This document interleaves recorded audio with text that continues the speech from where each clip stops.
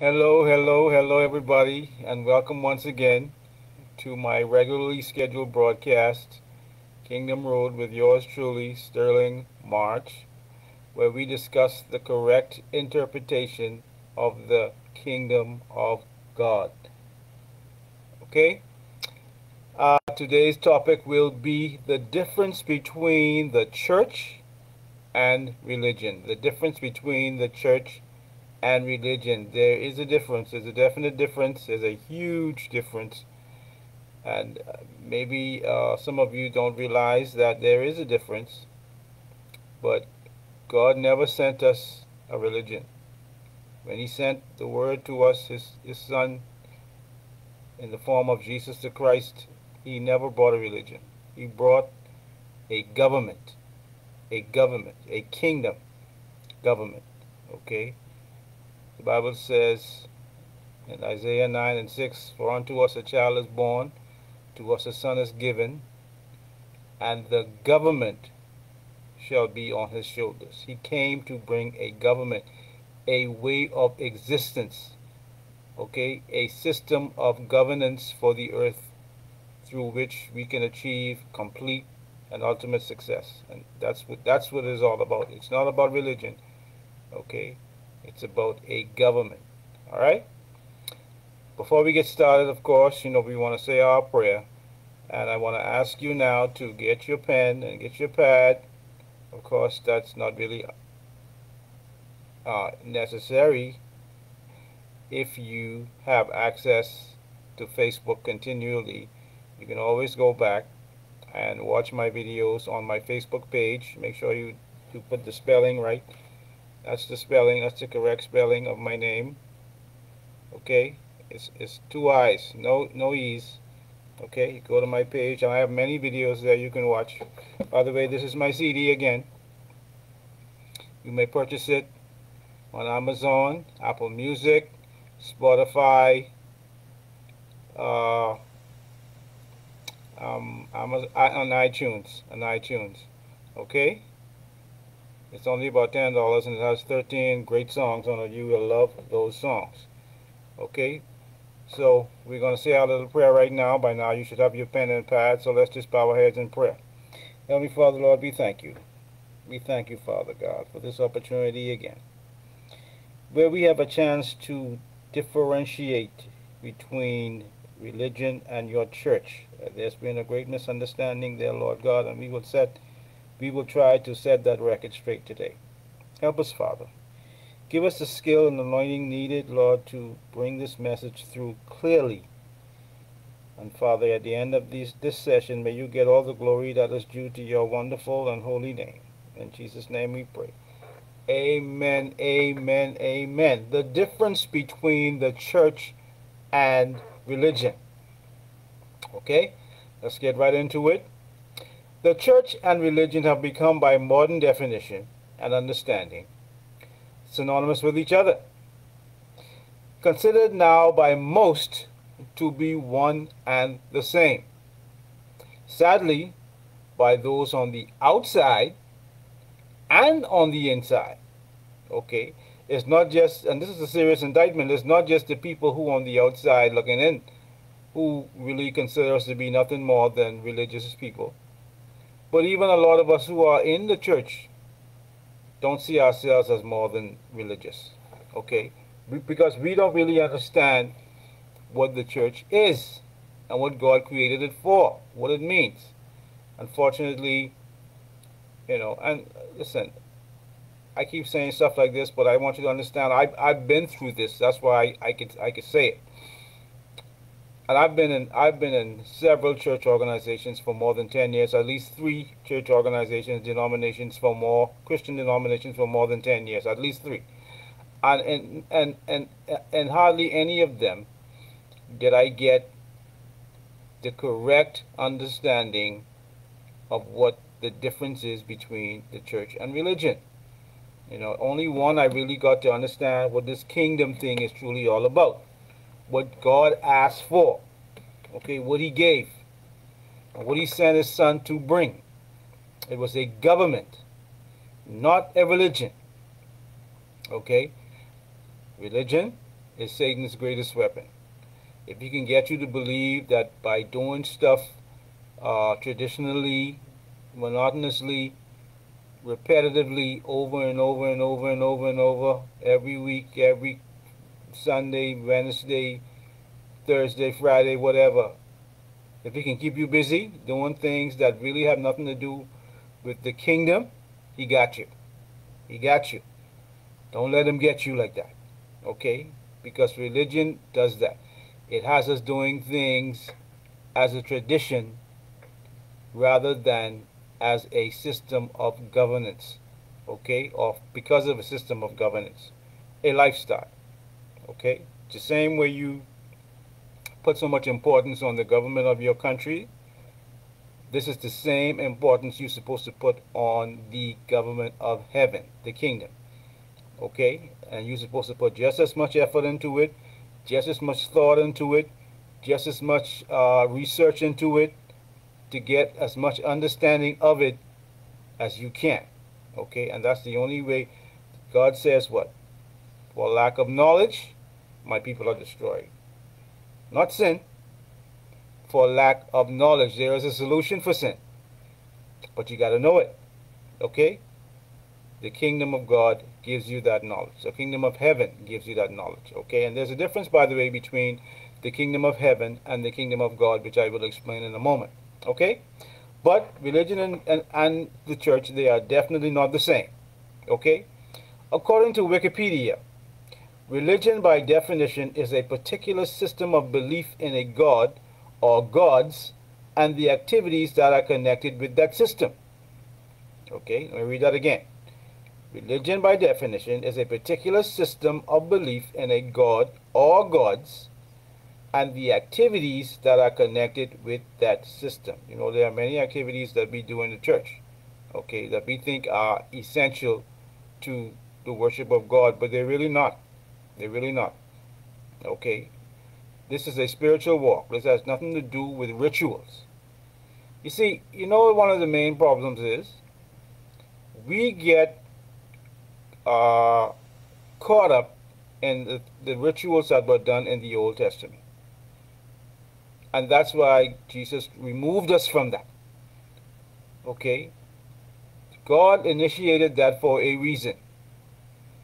Okay? Back then, he couldn't give salvation because salvation was could only come by one person, and that was Jesus, who didn't come until the New Testament. But we read about all the rituals that the Israelites had to do and God commanded them to do, and we think, oh, okay, that's how we're supposed to be doing this thing. No, that's not how we're supposed to be conducting ourselves. That was a system under the law that God placed the Israelites under. That is not for the modern believer. Okay, unfortunately, the Israelite nation, known as the nation of Israel now, Israelis, they still predominantly still follow that system of religion by the law. But what did God say? Behold, old things have passed away. Now all things become new. All things have passed away. Behold, all things have become new. You see that? That's what he was referring to. The Old and the New Testament. He's saying, forget the old now. Well, not forget it, but I've given you something new that takes preeminence over the old. Focus on the new. Now, I'm not saying to discard the old. Remember Jesus said, I didn't come to destroy the law. He said, but, but you are no longer under the law. He said, the law still stands for those who have not received him. If you haven't received Jesus Christ as Lord, but yet you still feel you believe in God, then you are you, you place yourself under the law. But if you believe in Jesus, you are no longer under the law. He commanded that we are no longer under the law. Okay? So we got to make sure we have that understanding. We are not under that old system that was in the Old Testament. All things have become new. So please, the Old Testament has a lot of good history, a lot of good encouragement. You know, when you read about, listen, what is it? What what what? There are some people who have said certain things. I remember Bob Marley even said it. You know, if you don't know your history, then you don't know where you're coming from. You need to know where you're from. You need to know where you came from, and that's one of the reasons why it's good to know the Old Testament, to know where you came from. What was the origin of man? You know, all that stuff. You know, but the things that went on with the Israelites are not for you. They're not for you. Jesus gave you a new, better way, a more excellent way with Him. And He says, I have removed you from under that law. You are no longer under that law. Everything that was done with the Israelites was under law. You, the modern believer, the New Testament believer, are no longer under that law. Okay? So, as I could just continue with what I was saying about the Wikipedia definition, Many religious systems are formally organized with constitutions and bylaws, maintain offices, are served by clergy or lay leaders, and the nations where permissible often seek non-profit corporate status or status, okay? Usually part of denominations which are often called churches in many traditions and they usually meet in a particular location. Okay? This is not God's definition of his church. Okay, God didn't tell you to stay in no particular location. For one thing. Okay, he tell you to go. He didn't say stay. He said go. Okay? By definition, the word church is translated from the Greek word ecclesia, meaning assembly of people. Now, let me just say something about what I just said just now about going. Okay. I'm not saying that there's anything wrong with you meeting in a building, okay? But your focus must not be the building, okay? Your focus must not be the building because he didn't say that you must just meet in the building. He said go. So if his command to you is to go, then you cannot just go, just meet in the building every week. You must go, okay? He said go. He didn't say stay and meet. He said go. So you can meet to make your plans to go. That's what you stay and that's what you meet in the building for, just to organize yourself, to go and do missions, to do ministry, to evangelize. That's what you meet in the building for. You don't have the building as your your place of, of, of, of worship. Okay? Worship is you are God's temple. You worship God anywhere you are. Anywhere. Even corporately you could you could you could meet in the park in a different neighborhood every week and have a service there. Think about how effective you would be if you did that. Just go into a different area, different subdivision, a different city, different community, and just meet there on the park. And watch how many people will be attracted to you. And you can get the message to these people. A lot of people won't even step foot inside a church.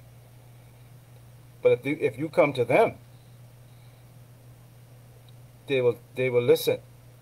Okay, just to hear what you have to say, they, just out of curiosity, they will listen. But hey, you got them to listen. This is your opportunity to give them the truth, if you have it. Okay, and by the way, when you go, carry something with you, please. Bless the people. Okay? By definition, the word church is translated from the Greek word ecclesia, meaning assembly of people. This is God's definition now. Ecclesia, meaning assembly of people. These people are in every denomination. Okay? I'm not saying that no denomination is denomination is necessarily right or any is necessarily wrong. I'm saying the true people of God are in every denomination.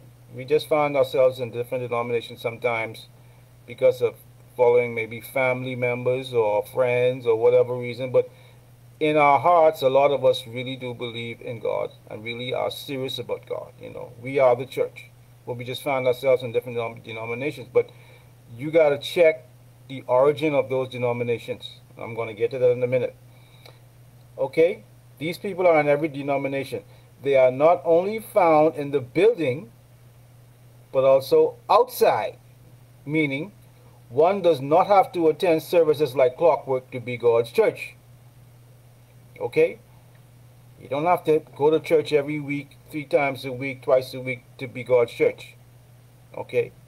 You don't have to be going to church regularly at all to be God's church.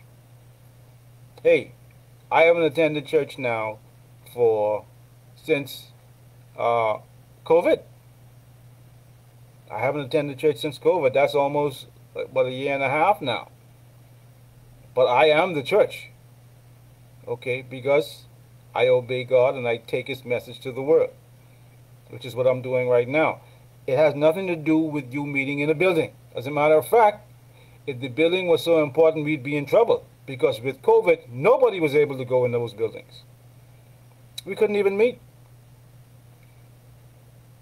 And I think God allowed that to happen just to show us, look, stop putting so much emphasis on the building. It's not about the building. You see, now you can't even meet in your precious building. I want you out of it. And, and, and I want you to demonstrate to me now that you can't even go inside of it if you really mean, if you're really serious about me. We couldn't even go in our churches can you imagine? You know, if, if, if, the, if the building was, was what it was what it was about, wouldn't the church have dissolved? Is, doesn't the church still exist? When we found ourselves having to go online and have church online, we thrived. We kept it together. And guess what? More people get to watch us then because now especially on Facebook, we keep promoting our church, we keep promoting our services online, and people see it. And now, and let me tell you something that COVID forced, forced a lot of church organizations to go online who would not have gone, on, gone online at that time. Okay, it forced a lot of organizations to go online. And now are maybe getting more uh, people's attention having a larger audience getting through to more people because they were forced to go online. They had to get themselves together. Get out. Jesus was saying, look, I tell you to go. And look like if I if I don't get you at them church, you ain't gonna go. Well, by going online, you went. Exactly as I am doing right now. So you don't have to meet in the church to be the church. Okay? He did ask us to meet to fellowship together, you know, uh, but it doesn't have to be in a church building. I, I shouldn't say the church. Let me keep saying the church building is a difference, okay? Church building and the church are two different things, okay? These are those they are only they are not only found in the church in the building but also outside meaning one does one does not have the 10 services like clockwork to be God's church these are those who have been called out by God God's called out ones his family Okay? He loves his family and they love him. Okay? Jesus said, if you love me, you will keep my commandments. That's just a word of reminder, remindance. You cannot be God's church if you don't obey. Okay, you have to obey. Okay, if you want to develop a habit, develop that habit. The habit of obedience to God. Okay? Now, concerning church, Jesus spoke only on two occasions using the word church. Only on two occasions. Okay? Matthew 16 and 18, he said, You are Peter, and on this rock I will build my church. Matthew 16 and 18. You are Peter, and on this rock I will build my church. Now, contrary to popular belief, he was not referring to Peter as that rock. A lot of people believe that, you know, I've heard people say things like Peter was the first bishop, you know, all kind of stuff. Listen, Jesus was not saying Peter was the rock. Okay, how Peter could be the rock that the church was built on? Peter had all kind of issues. Okay, Peter could not be the rock that the church was built on. Okay, and let me explain that to you. Jesus was using a simple play on the Greek words Petros and Petra. Okay? They both mean rock, but one means Petra means the foundation and chief cornerstone of the church, which is him. Okay, when he said upon that rock, upon this rock, he was referring to himself, meaning the foundation and the chief cornerstone of the church. Okay, and Petros, okay, referring to Peter, indicating the role of believers as the living stones which are built on Christ as the foundation and cornerstone, as explained in 1 Peter 2 5 and 6. 1 Peter chapter 2, verses 5 and 6. The Petra. The rock Jesus was referring to was the statement made by Peter in Matthew verse 16 and 16. Jesus had asked a question of his disciples. Matthew 16 and verse 13 he asked, Who do men say that the Son of Man is? Simon Peter replied in verse 16, You are the Christ, the Son of the living God. Jesus replied in verse 18, On this rock, meaning the reference of him in the statement, You are the Christ, the Son of the living God, he was saying, On that statement, I will build my church, and the gates of hell will not overcome it. On that statement, you are the Christ, the Son of the living God. And that's the only rock that the church could have been built on. Him, he, that's why he was referred to as the chief cornerstone. He was the big rock, the big stone that the church was founded, founded on. Him. Okay? In another statement, Jesus refers to the church as separate and apart from the outside world in our dealings with each other. Okay, he was giving us a little idea of how the church is supposed to be towards each other. In Matthew 18, 15 to 17, he, he highlights this relationship. In verse 15, he says, If your brother sins, go and show him his fault in private. If he listens and pays attention to you, you have won back your brother. In verse 16, he said, But if he does not listen, take along with you one or two others, so that every word may be confirmed by the testimony of two or three witnesses. Verse 17, if he refuses to tell it to the church, if he refuses, tell it to the church.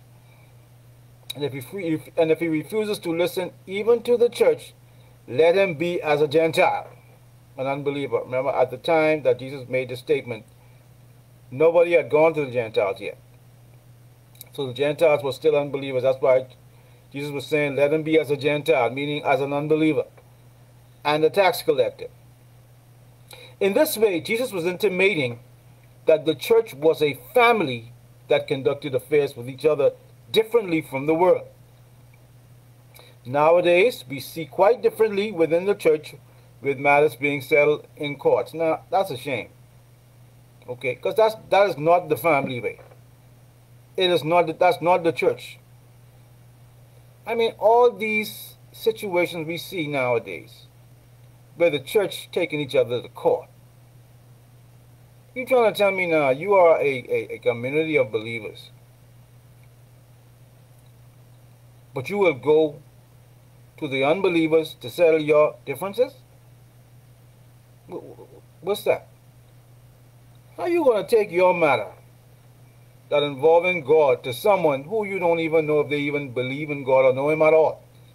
You're going to let him, you know, but you know why you're doing that? Because you just like them. You're no different from them. You do that because you believe more in the system of the unbelievers than the believers. Jesus said it. He told us how to do it. He said, take your matter to the church. Okay? Take it to the church. Now, either you don't believe in the church or you don't believe in your church. But the thing about it is, you trust Jesus' word. And if you are in a church that you don't believe in, then you should not be there. Okay? You need to leave that church. Because if you got to go to court to solve any difference between you and any brother in that church or sister, if you got to go to court to deal with that to a judge that you don't even know if they know God, then you really ain't you ain't you ain't for God. I'm sorry, but you're not for God. Okay. And the thing about it is, which you're, you're fighting over things that belong to God. That's the crazy thing about it. Everything in the church, ain't nothing in the church was paid for by the pastor. Okay? Everything that was paid for in the church is paid for by the donations of the church itself, the believers. Everything. Now he may put it in his name, but it don't belong to him, and he shouldn't do that. It belongs to the community. Okay? He could be the overseer, but he can't be the owner. It belongs to God. Because his people gave the money for it. Okay? So you shouldn't be fighting over it because it don't belong to you. And if, if, if God has something for you, you, can, you ain't nobody can be able to take that from you. Okay? God will settle that for you. Okay? The modern church has placed more emphasis on organizational structure than its love for God and each other and obedience to his word. Okay? That's all we that's all that's that's what it's all about these days. You know, who's the bishop? Who's the archbishop? Who's the pope? Everybody want to be in charge. And everybody want to have the say, the strongest say. You know. Why not just sit back and say, okay, y'all, y'all, y'all fight it over. I ain't gonna let God handle this for me. And I guarantee you, you'll be shocked to see how you will come out on top in that situation without even fighting. Remember now, the battle ain't yours. No how. Why you fighting? If the battle ain't yours. You see, all this is evidence that shows that you are not the church. You're not. Because the church don't fight with each other. Okay? I believe Jesus' desire was that we, that we not create physical structures to hang out in, but commune as families, create communities who subscribed to his message which left with less emphasis on formal organization. I mean, we got these big, big, big old buildings with these people who who want to control everything that goes on inside it, like it's their building, and their money would build the building. Okay, creating all kind of strife in the church because of this their strong-handedness, not allowing anybody else to have any any decision-making ability in that organization but them. They decide everything. One man. And then when push comes to shove, he got to carry somebody to court to settle an issue. Oh boy. Okay, boy, I tell you. Jesus said in John 17, 20 to 23, he said, his desire is that we, be, he said that his desire is that we all be as one like he and the Father. That's what he wanted to y'all unite, man. The church is more separated today than ever. Separated into many, many groups, denominations with their own agendas, when our oneness, our oneness would have displayed to the world our unity in Jesus and why they should follow him. See, that's the problem. There is nothing worse than a infighting in a church. That, that church loses its credibility to many people. And the bigger the church that church is, the more people they lose. Who wants to be a part of a church where there's no unity? If there's one thing that Jesus asks us to be is unified. So that when we go to the world to take this message, they see us coming as one. They say, okay, this is something I could be a part of. This is something I could believe in. But if they see you coming, they go and they look, they go online and look at your history, and you just last year you was fighting over the church building, over the property, over some assets the church have. Who wants to be a part of that? Okay? Or, or over who should run the church? Come on, man. Listen to me. If it was me, and this is me, when it comes to a situation like that, whether who should run the church, if it if it comes to that, I would say, but I say, Lord, if you chose me, then you will put me where I belong as the leader of this church. If you don't want me to be the leader of this church, then let me go on my merry way and let me and, and you start a new church through me. You start a new community with me. A community that will be built on you and your truth, not on some ideas of some individual or desires of some individual. Let them have that. Why should I fight over that? What? What is it? What I fighting over? Money? My God already told me he can take care of me if I seek him first. And if he wants me to be the overseer of any church community, then he would put me there. And nobody would be able to remove me. See what you see? Remember Moses? When they murmured about Moses, God gave them leprosy. Remember Miriam? His own sister. Okay? The next time they did it, God killed thousands of them. Listen, you don't need to fight over a church. Okay?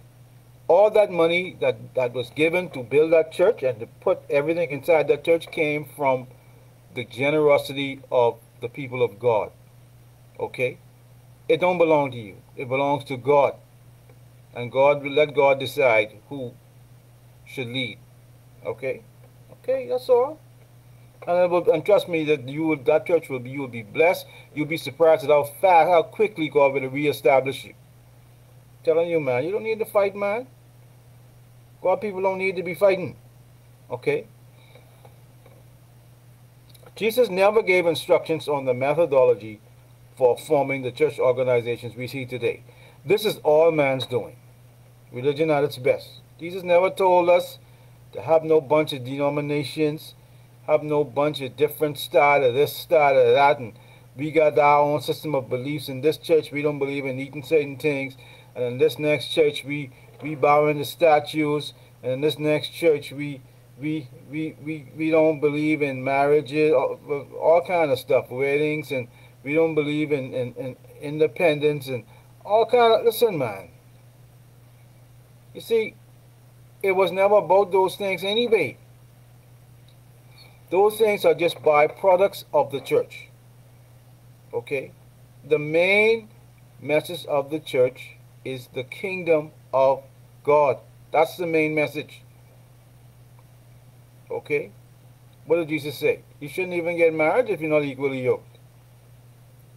Anyhow, concerning marriage. What did he say was concerning food?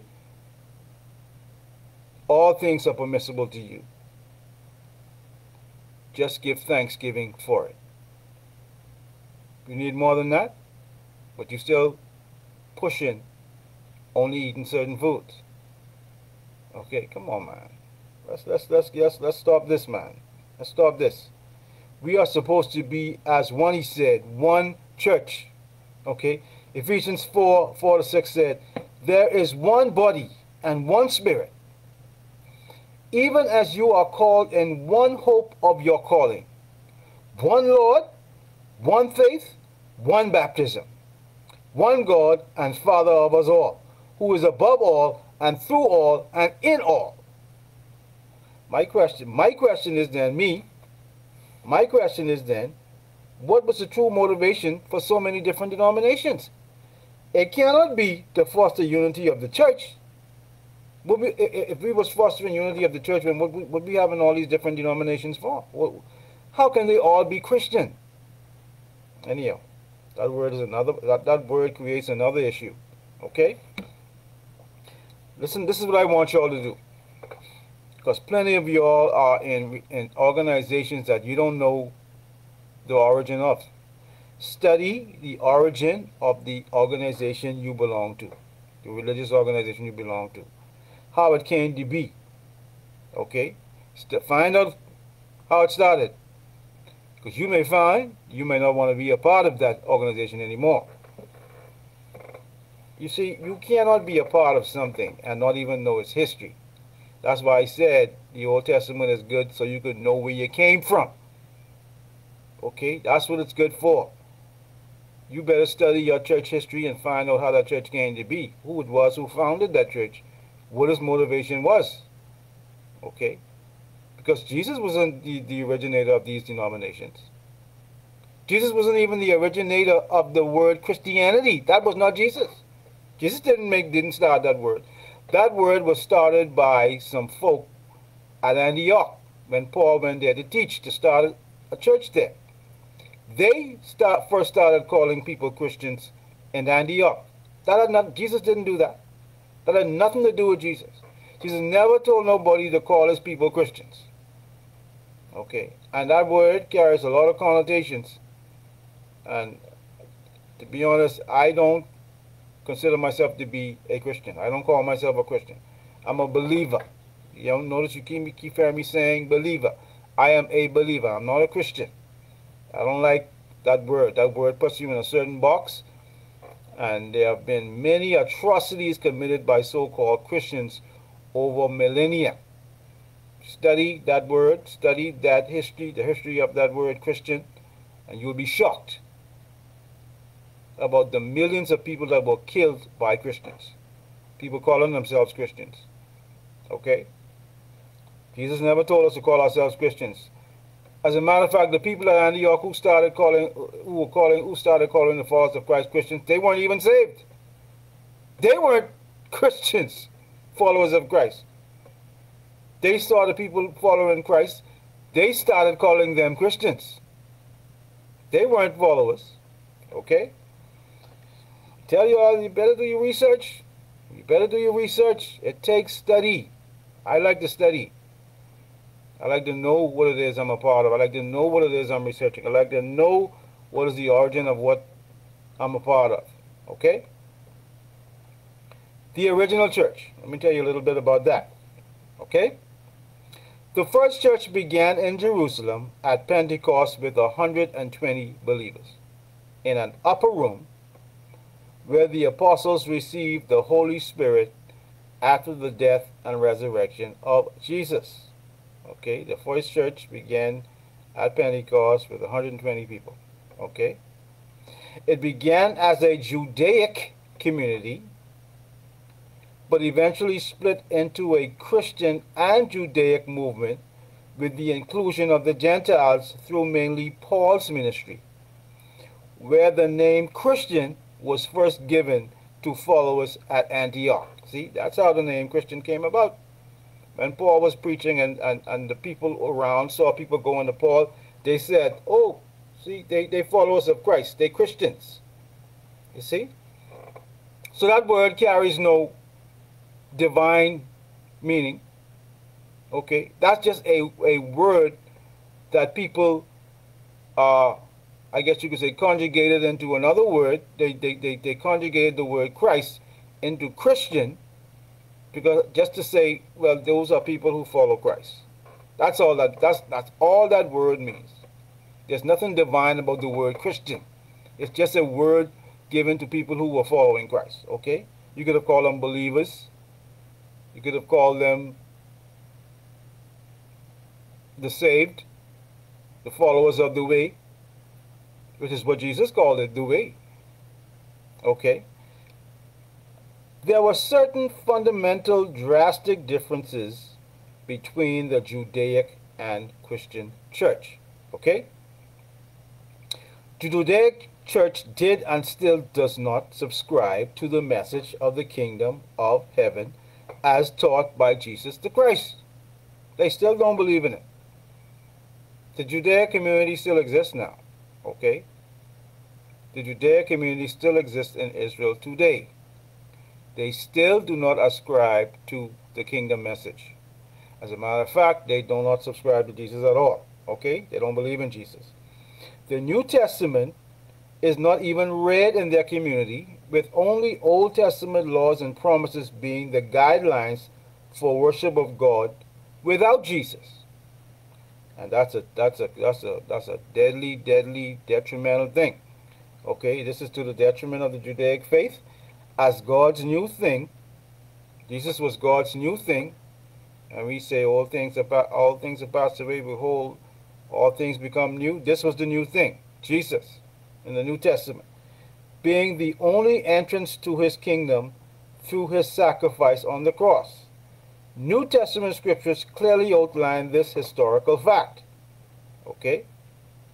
And 2 Corinthians 5 and 17 it says, Therefore, if anyone is in Christ, he is a new creature. The old things, listen now, the old things have passed away. This is the Old Testament it's talking about. Behold, new things have come. See, I, I, I, keep saying it. I know some of you have probably called me a heretic when you've heard me say it.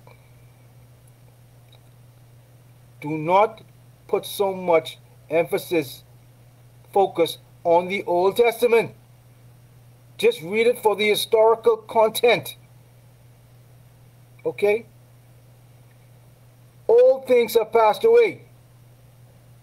He said, Behold, I'm doing a new thing. Okay? And and and John 10 and 9, this is what Jesus said. I am the door.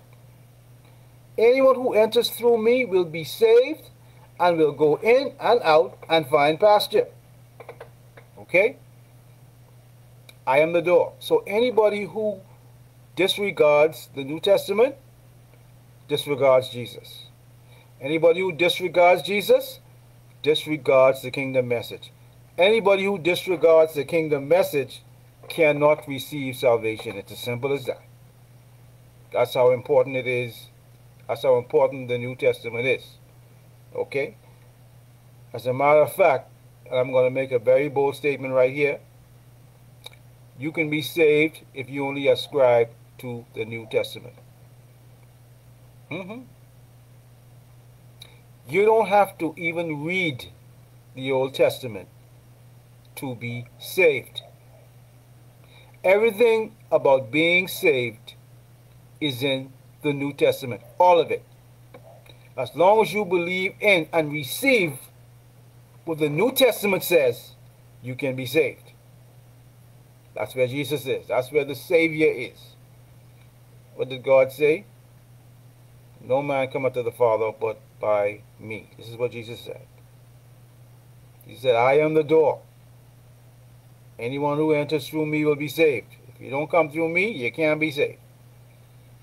So, there were people in the Old Testament who did get salvation. But guess how they got it? Through Jesus. Even though he came hundreds and hundreds of years after they died and was buried, they still got salvation through him because as long as they died in God, believing in God, like Moses, like Joshua, like Samuel, like David, Solomon, and all the rest, as long as they died believing in God, they slept until, well, they're still sleeping. But on that day,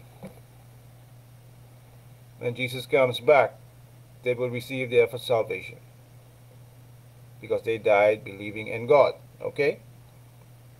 Because He's the only way. And he, he His salvation goes beyond the grave. Okay? Or beyond the side, into the grave.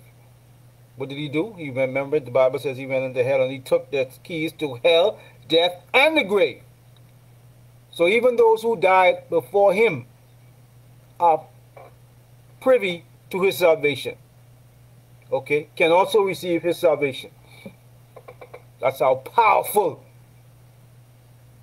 Jesus was, or is, I should say.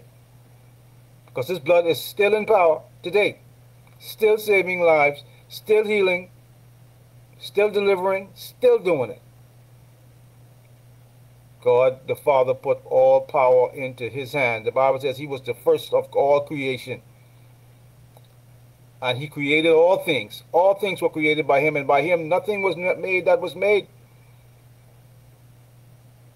All things were made by Jesus, as the Word. And when he came to earth, he was Jesus. But he was the Word then. This being is so powerful that even after his death and resurrection, he is still healing, saving, delivering right now. And he's saving those who have died thousands of years before him, those who are alive today, and those who will receive him in the future. He's already saved them. He knows who it is. The Bible says he knows his sheep and his sheep know him. Hmm? He's just giving us a chance to live that life out, you know, to, to, to give ourselves to him. He knows who are his. Okay? The Bible says we were in God even before the world was formed. Before God created the earth, God knew us by name. Okay? He already knew who were his. Okay? The Israelites as a nation, predominantly Judaic, okay, right now Israel is 82% Judaic, don't believe in Jesus, by their own volition have removed themselves from the mercy of God's plan to be saved, and have instead chosen to remain under the works of the law by which no man can be saved. They remain in that state even until today. Listen, even though the Old Testament makes reference to Jesus coming many times, they have not received it. Okay, that's a strange thing that I don't understand about the, the Judaic people, the, the Judaic religion, Judaism. They say they only subscribe to the Old Testament. But the Old Testament prophesied about Jesus over and over and over and how he would come, what he would be like, what he was bringing, it told it, it prophesied all of that. So why, when he came, they didn't believe it was him? I, I don't understand that. What, what, what, you what you looking for? What? Why why after he did all these things in your face in your face? That's why Jesus said, "Blessed are those who have not seen and yet believe." You know, because these people saw him do all these miracles, and what they say, "You ain't you doing that by Satan." Oh my God! Didn't the, your book that you ascribe to the Old Testament tell you that he was coming and he was going to be doing these things. So why you didn't believe it when it happened? And why still today have you still not received them even though it tells you only by him can you be saved? But I, I, I don't I don't understand that. But that, that's that's that's the choice they made. Okay? But God says and God says since then, since they did that, he say, okay, he said, I'll break them out of my natural olive tree. I've broken them out and I've grafted in my Gentiles. He said, and I put a spirit of stupor on the Israelites. And they will they have remained in that state even to this day. They are still in a state of stupor. Okay, that's where we get the word stupid from. Okay. He said, and I will not look to them again until I have gotten all my Gentiles, he said. Now, you see that? He came into his own, the Bible says, and his own received him not. But he gave himself to the Gentiles. And guess who taken the message of the kingdom to the world? The Gentiles. The very ones who didn't know him, had no idea about him, they wasn't looking for him. We are the ones who are taking this message to the world. Okay, his own didn't even don't even receive and they don't care to take it. So what do you do? He's like make them confused I can confuse them so they will never be able to find me no more until I am ready to give myself back to them. He said, and then, he said, and only then, if they change their unbelief and repent, will they be saved. Well, the chances are they still ain't gonna repent because, well, I can't say that. Okay, I can't say that. I hope that they do. I pray that they do. You know, they gave us Jesus. I pray that they, well, they gave us the physical form of Jesus. But I pray that they do. I don't know how that's going to happen, though. That's that's because if, if you don't read the old, if you refuse to read the New Testament, I don't know how you're going to even learn about Jesus. I, I, don't understand that. Okay. Uh, even okay, even though the Old Testament makes reference to Jesus coming many times, religious folk do the same with the New Testament. That's right. Okay. The same thing that the Israelites did and are doing today in serious denial about what the book said and refuse to believe Jesus Christ. New Testament believers are doing the same thing to the New Testament today. The things that are stated in the New Testament, they are in denial of it. And they refuse to receive it. Same thing. I tell you, religion is a powerful tool of Satan. Telling you, don't listen. You see all this this this emphasis on my face? It is a scary thing. Okay? People are being held in bondage today not because they don't have the truth. Remember God used to say, God said once, for lack of not once, several times, for lack of knowledge, my people are destroyed. Well, today, people have the knowledge, but are still denying it. God said they have a form of godliness, but they deny the power thereof. Okay, they receive something, but they don't truly get it. And you can't have a form. You gotta have the real deal, baby. You can't deny the power thereof. You gotta receive it in, its entirety. Okay? They still won't obey God. They still say, no, God ain't mean that. That ain't what God meant. God says certain things in the New Testament that he said we're not supposed to be doing in this church. But we, we still doing it. Most churches, 99% of the churches still doing it. And he said, don't do it. You know that it's concerning women. He said, Paul said, this is a commandment of God. Listen, for that one breach of God's commandment, you could go to hell. Jesus said, if you love me, you will keep my commandments. Okay? All right. Cherry picking what they like. That's what they do. People cherry pick nowadays. There is a misunderstanding. See, they believe most of what Paul say, but some of what Paul say they don't. They, they, they take out. Now you see, you can't do that. You can't do that. You can't cherry pick your word like that. If Paul says that you can't do something, you cannot do it. You shouldn't do it. If Paul says, if, if it's Paul that you are learning about God from, and learning how a New Testament believer is supposed to act, then you can't take some of what Paul says and discard the rest. You got to take all or nothing. And if you're taking nothing, then you lost. Okay?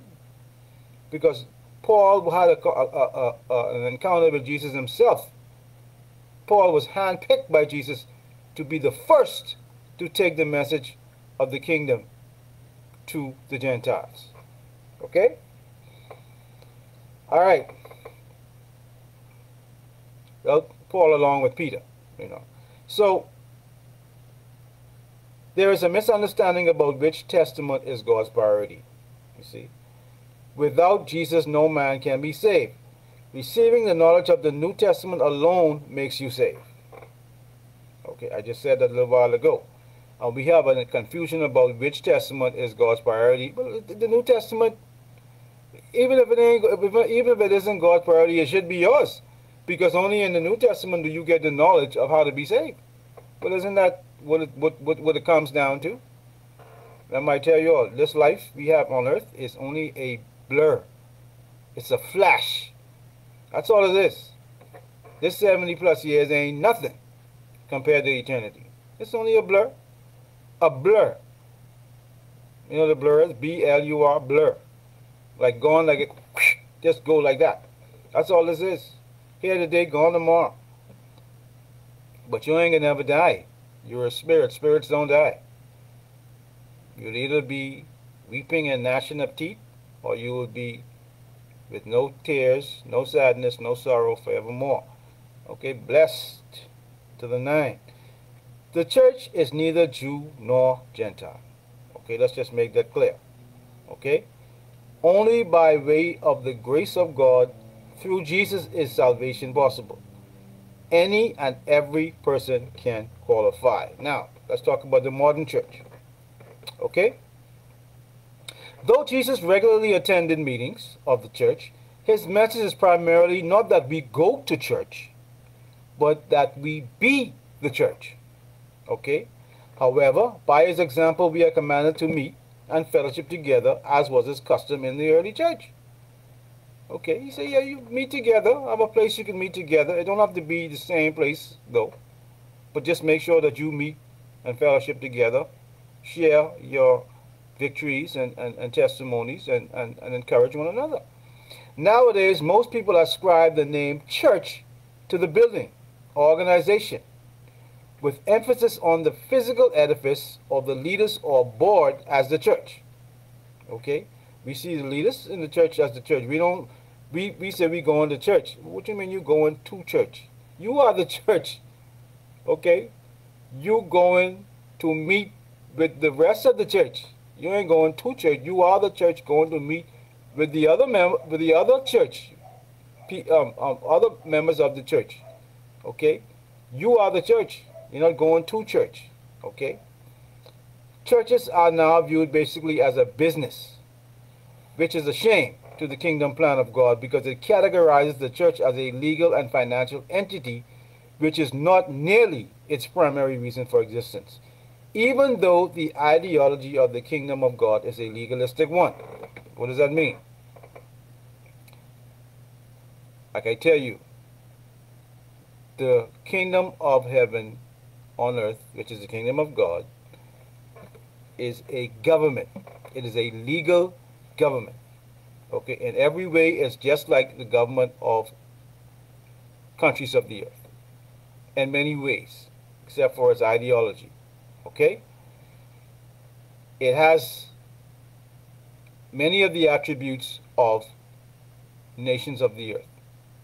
Okay, it has an army, the angels. It has money, okay, currency, tithing and offering. It has laws. It has a constitution, the Bible. It has ambassadors, which is you. Okay. These are all legal uh, terms in a nation. So it is a legal entity. The king is a legal entity. Like my pastor used to say, it's a political position. Okay. Jesus wants to wants us to know that he is just like how we have kings on the earth. but the kings that used to exist, he is that kind of king. Only thing different is that he is a benevolent king. They were not benevolent king, all of them. Okay, some of them were terrible tyrants. He, he, they, there was none like him. And there was never a kingdom like this. Okay? But in that way, it's a legalistic organization. The church is meant to be an arm of a system of government like no other that ever existed. The church is the embodiment and ambassador of God's heavenly government, the kingdom of heaven, on earth known as the kingdom of God. See, in, in, in, in heaven, it's the kingdom of heaven. Okay? It comes and it lives in the people on earth who receive it. We are the kingdom of God. It's called the kingdom of God on earth. Okay? In heaven, it's the kingdom of heaven. Okay? On earth, it's the kingdom of God. Because it's in us, the people. Okay? It can't be the kingdom of heaven on earth because heaven is not on earth. Okay? Heaven is in heaven. Heaven is not on earth. Okay? It's the kingdom of God on earth. Its purpose is to replicate heaven's ideology of existence through the rulership of God, which is mankind's only way to complete and successful existence. Its reasonable service is that it teaches the world what it means, how to acquire, and the responsibility required to be in the kingdom of God.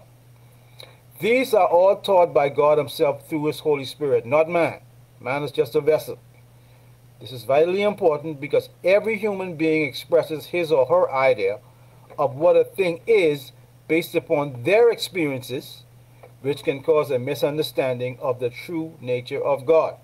Okay, God doesn't want us to teach this word of ourselves. He doesn't want us to carry this message of ourselves. Remember I told you in my last broadcast, what did he tell the disciples? He said, wait until the Holy Spirit has come upon you. Wait he said, and then he said, take my message to the world. Wait for the teacher. Wait for the guide. Wait for the one who will teach you and, and give you the truth of this message. Don't carry this without him because you're going to mess it up. Okay?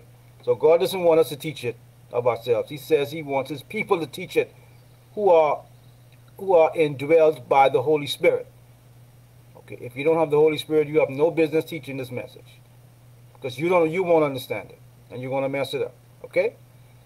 So just wait until you know for sure that you have God on the inside of you before you start teaching this message. Okay? Only through relationship with him can one get the true meaning of his kingdom. We can be given examples based upon someone's life, but because men are flawed by sin, God gives his Holy Spirit to guide us into all truth. Okay?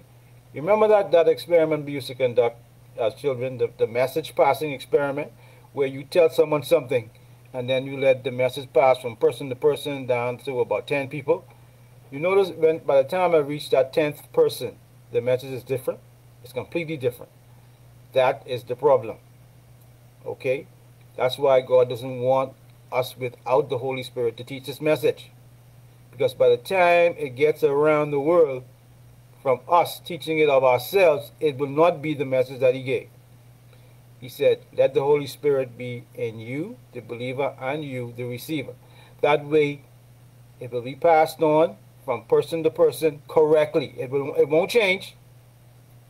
The reason why you hear it being spoken about differently in these different denominations is because the people who are teaching it do not know God. They don't have the Holy Spirit. I mean, that, that sounds harsh, right? But this is the truth. It's truth. Jesus said in Matthew 7 and 14, Straight is the gate, and narrow is the way that leads to life, he said. Remember he said, I am the way, the truth, and the life. He said, and few there be that find it. So don't get upset with me because I keep saying that these people don't know it or don't know him. Jesus himself said, only few know me. Only a few. That sounds rough eh? because there are uh, Christians, there are over 2.4 billion Christians, so-called Christians in the world. Now you know, ain't no way. You got 2.4 billion believers on this side. No way. If that was the case, this whole world would, would, would know Jesus by now. Instead of the messed up way it is right now. Everybody calling themselves a Christian now. I've heard people who discuss and carry on publicly say they are Christians. Okay? Hey, listen, I'm not saying you're not going to make a mistake or sin, you know. What I'm saying is you're not going to intentionally do things if you are led by the Holy Spirit. You may do it you're going to do it unintentionally. But you're not going to intentionally just blurt out things and say things if you're led by the Holy Spirit. Okay? Being the church is not merely believing what the Bible declares that happened to a man named Jesus, actually happened historically. Okay, let me read that again. Being the church is not merely believing that what the Bible declares that happened to a man named Jesus actually happened historically. In other words, many believe that what the Bible says happened, happened. But that's not being the church because you believe it happened. Just because you may believe that there was a man named Jesus who went to the cross, but you may not actually believe in what he did and what he said and in him. You may only believe that it happened, the history of it. But being the church means that you believe that in it, that you receive it, that you receive what he says. And so, because you believe in what he says, something changes in you. Okay? Even religions outside of Christianity believe that Jesus happened, though they do not believe he is the Messiah. Okay? Being the church means believing that he came. Remember, I told you the Israelites, they believe in the prophecies concerning the Messiah. But when he came, they didn't believe it was him. Okay? So you could believe what the Bible says, but that doesn't mean you believe in what the Bible says. There's a difference. You could believe in the history, but you may not receive it as the truth. Okay? Being the church means believing that he came and did what he said he did. That's being the church and that because of it you can have everlasting life and have it more abundantly, which reflects in everything you do and say, making the necessary adjustments to ensure you remain in alignment with Him. Okay? That means then that salvation requires a response. You can't say that you are saved and be the same as you were before you were saved. Salvation requires a response. If you say you believe in Jesus, then there should be a difference in you. You do things differently. You act differently. You speak differently. You think differently. You act differently. If you don't have no response to getting saved, you ain't saved. I'm sorry, but you're not. Salvation requires a response. And it's automatic. You want to want to do it. You don't have to be pushed to do it. When you are truly saved, you want to do things, the things that Jesus said that you're supposed to do. Okay? If all you do is go to church but not go to the world with the message he gave, he says you are not a part of him and do not share in his life. He said, if you love me, you will keep my commandments. My commandments that you go. Okay? As a matter of fact, the only reason he asked that we even go to church is to fellowship with each other and to strategize ministry toward the world. That's the only reason we're supposed to be meeting, to encourage each other to go. That's the only reason we're supposed to meet in that building. Not to worship, not to hear from God. Excuse me, you are the temple of the Holy Spirit. You're supposed to be hearing from God 24 7, not from the man on that pulpit. That man on the pulpit only supposed to be confirming to you what you've already been told. Okay? And that's fellowship. And you, you, you standing in agreement with each other through the word that's being taught. You know, if he's saying one thing and God is telling you something different, then that's a problem. Okay? As stated before, and in conclusion, we must not just go to church, but we must be the church. Okay? The world and God is depending on us. Okay? I hope I've given you enough about the difference between church and religion today. There's a big difference. Okay? Religion is scary. Okay? Be careful. Religion usually is a, a, a, a, system of tradition, just doing the same things over and over and over and over and over. You never see no different results. You never get no response from God. You never see no difference in what you what's happening to your life or to you because of what you're doing. No, no. God said there's supposed to be things that's supposed to be different for you. You're supposed to experience certain success, healing.